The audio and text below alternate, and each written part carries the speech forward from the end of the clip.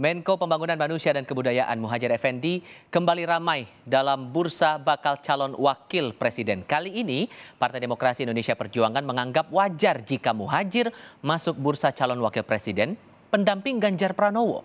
Ketua DPP PDI Perjuangan menyebut banyak sosok muslim yang dipertimbangkan masuk bursa bakal cawapres Ganjar setelah nama Imam Besar Istiqlal Nasaruddin Umar, kini nama Menko PMK Muhajir Effendi masuk bursa cawapres pendamping Ganjar Pranowo.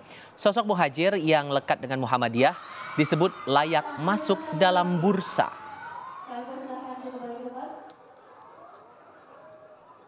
Baca wapres dari tokoh-tokoh Nadatul Ulama sudah ada beberapa. Nah saya kira wajar saja kalau kemudian Prof. Muhajir ini juga bisa menjadi kandidat baca wapres yang mewakili tokoh Muhammadiyah. Kan Muhammadiyah juga ikut berjasa mendirikan negara dan bangsa ini. Ya, saya kira begitu. Ya, tapi yang jelas kami, Muhammadiyah bukan parpol loh ya. ya. ya. Ini sebagai tokoh ya, sebagai figur ya. ya.